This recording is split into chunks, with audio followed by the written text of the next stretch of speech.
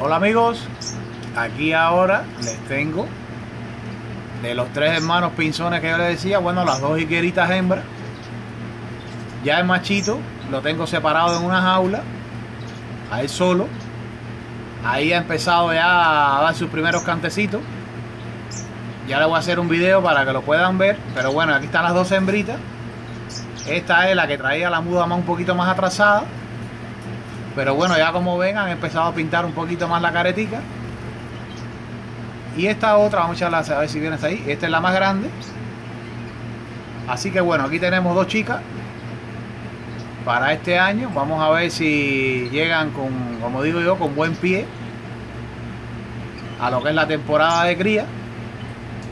Aunque por lo general estas pajaritas que sacan, que vaya, que he logrado sacar yo aquí, el primer año por lo general nunca se encelan. Así que tendríamos que esperar al segundo año o el tercero. Lo que he podido ver yo, no sé si a lo mejor ella nos dé una sorpresa este año. Vamos a ver en qué forma, todos en la forma que lleguen los pajaritos, como pasa en la muda. Vamos, yo siempre he escuchado que se deben escoger los ejemplares que sacan mejor de la muda, son los más fuertes. Esta primera pajarita que está ahí, como ven, está perfecta. Hizo una muda impecable. Ya la segunda, la hermana esta de ella, pues bueno, se ha demorado un poquito más. Pero bueno, ya todo sería cosa de ver. Ver y probar qué es lo que pasa. Ya así todo es adivinar. Vamos a seguir adelante.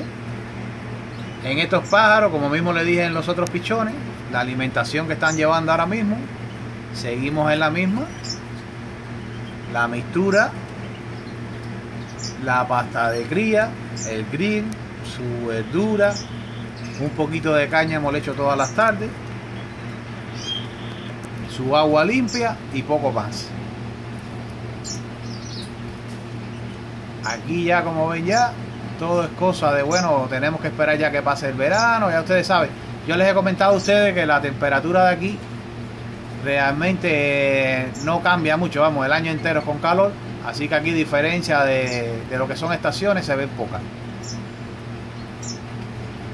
ya lo, como bueno en algunos vídeos cuando yo le ponía al principio ya a partir de más o menos fue en enero febrero por ahí las higueras más viejas empezaron a dar síntomas de celo y exactamente los primeros pájaros estos pájaros yo creo que fueron como no sé vaya si les digo ahora exactamente tendríamos que buscar pero son cuatro meses atrás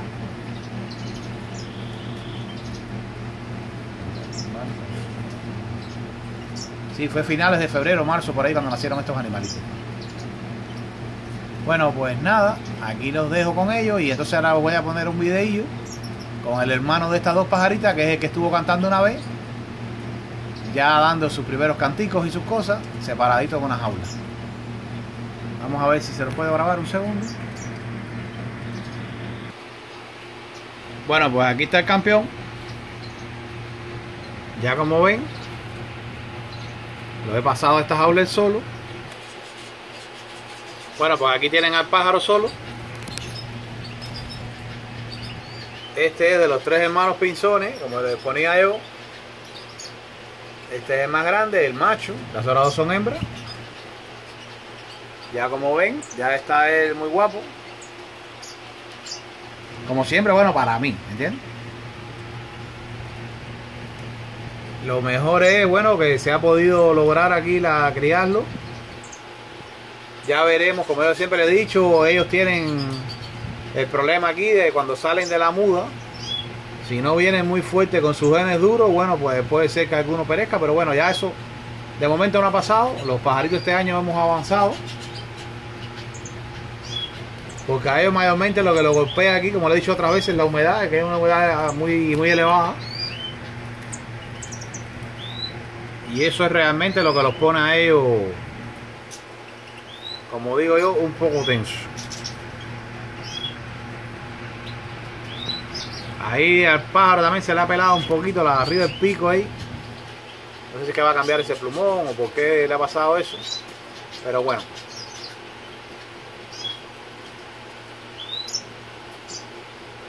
Bueno, ahora lo voy a sacar afuera ahí al patio. Vamos a ponerlo ahí en uno de los árboles que hay ahí. Y bueno para que lo escuchen un poquito ahí, porque ya él está empezando ahí a dar sus primeros canticos. Vaya, bueno, no mucho, pero bueno. Vamos a ver cómo se comporta. Y bueno, aquí como siempre les digo, un saludo, nos vemos, hasta luego.